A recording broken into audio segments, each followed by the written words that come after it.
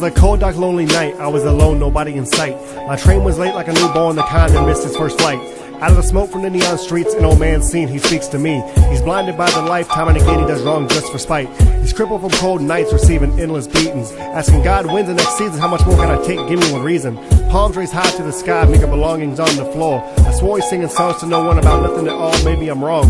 He's singing and he's crying up stories of love and hate that meant so much. These goblins kept his life going, kept nickels in his cup. We're both framed in awkward silence while this doesn't seem to make much sense. I was in his living room, invading his space, his time, his trust. He finally says to me, I'll smoke this last cigarette and give it up. But he laughs, he adds, he's not sure which to save his life or habits. His habits made his fingers weak, many chances he didn't grab it. Consistently chose bad habits, it's his life that made it hard.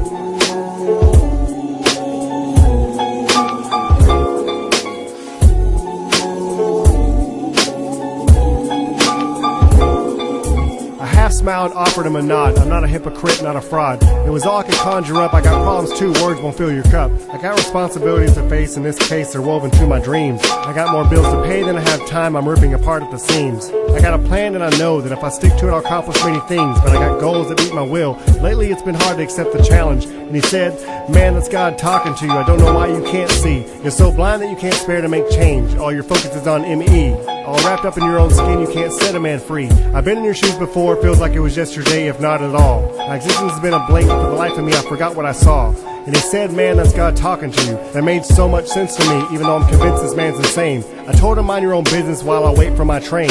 He says, I've been waiting here forever, I'm dying in my own skin. The only reason you're living life, you're curious what happens at the end.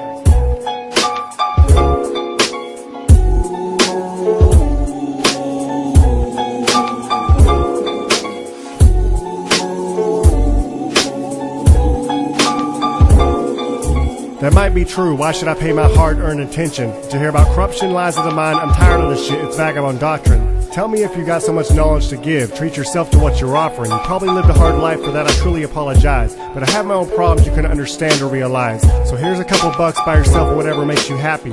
But he smiled, refused the money, sat there singing songs of love and hate. I crammed the change in my pocket, called him a lunatic, went on with my weight. As I stood there hovering his frame, I could feel his eyes judging me sadly.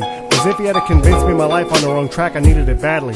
I said, hey old man, your cigarette's all smoked up, it's time for you to leave. He looked at the trail of ash in his shirt, smiled as if it gave him some sort of relief. He propped himself up, collected his life, and got prepared. Become one with the night, turned around, wished me luck with all my affairs. Said something about learning to walk, before I knew it, he was out of my sight. I paid no mind, his words missing, what did he mean about darkness and light?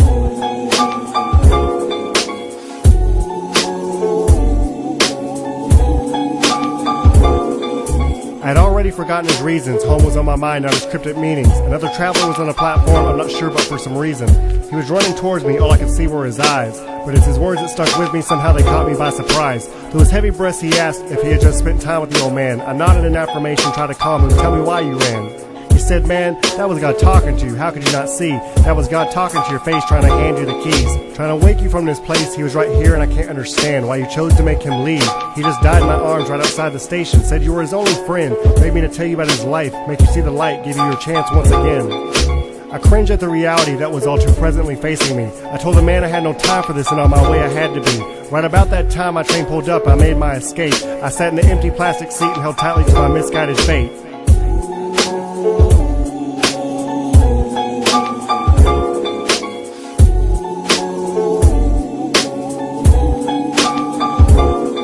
That was decades ago, now I sit singing on my own platform. My belongings packed tightly in my bags, handing out my own sad songs. My habits made my fingers wink many chances, but I don't grab it. I consistently chose bad habits, but it's my life that made it hard. I had responsibilities, and as a result, I don't need dreams. I don't have any bills to pay, like I'm free, as captivity. I don't have any plans except to sit here and weather the storm. I wish I had goals, but if I had those, I wouldn't warn you from my platform.